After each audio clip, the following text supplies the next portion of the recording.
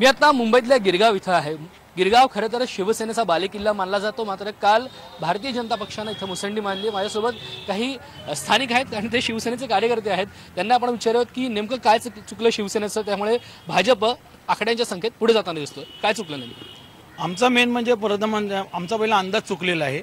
दुसरी गोष्ट आम्हाला एक अंदाज चुकलाय पण? अंदाज असा चुकलेला आहे की आमच्याकडे जो नवीन वॉर्ड आला त्या नवीन वॉर्डमध्ये सगळा जो मतदारसंघ जो आलेला आहे तो गुजराती जैन कम्युनिटी ह्यांचा आलेला आहे. त्यातले मराठी माणसं जेमतेम म्हणजे हातावर म्हणजे बोटावर मोजणं एवढीच आहेत.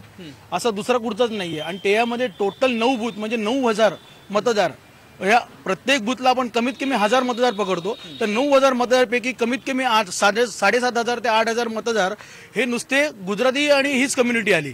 तर ते जो भाजपला त्यांचा जो कौल जातो तो भाजपला त्यांचा कौल जाता जाणारच आहे. आणि तो गेला पण. लोकांचं चुकत नाही. पण तुमचं काय चुकतं की ज्याच्यामुळे भाजपकडे लोक चालले? कामाच्या दृष्टीने जे शिवसेना पक्षप्रमुख उद्धवजी ठाकरे यांनी जे आम्हाला सांगितलं होतं आणि ती कामं आम्ही आज लोकांपर्यंत केलेली आहेत अशी नाही की नाही केलेत. त्याच्यात एक गोळ म्हणजे मतदार यादीचा गोळ जी आता माझीच आई जवळजवळ वीस वर्ष गेले तिचंही नाव अजून येते.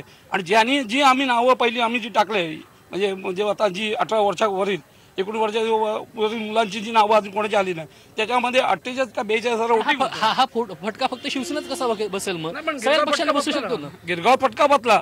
आज पण लोकांमध्ये कामं पोचलेली आणि आम्ही करतो आणि करणारच शिवसेना भाजपबरोबर जाणार नाही असं स्पष्ट पण सांगत नाही ना मग? तुमची काय सर्वसामान्य शिवसैनिक म्हणून तुमची काय इच्छा आहे? आमची अशी इच्छा आहे की उद्धव साहेबांनी आपला तिसरा डोळा उघडायचा आणि ज्या भाजपने आपल्याला एवढ्या शिव्या दिल्या त्या शिव्याला प्रत्युत्तर देण्यासाठी आपण राष्ट्रवादी काँग्रेस आणि काँग्रेसला सपोर्ट करून त्यांना तिसरा डोळा उघडून मुख्यमंत्री आणि महापौर करायचं काम आपण करू शकतो. तर आपण बघू शकतो की शिवसैनिकांची ही भावना आहे की वेळ प्रसंगी राष्ट्रवादी काँग्रेस आणि काँग्रेसची मदत घ्यावी पण भाजपाला मात्र दूर ठेवायला पाहिजे.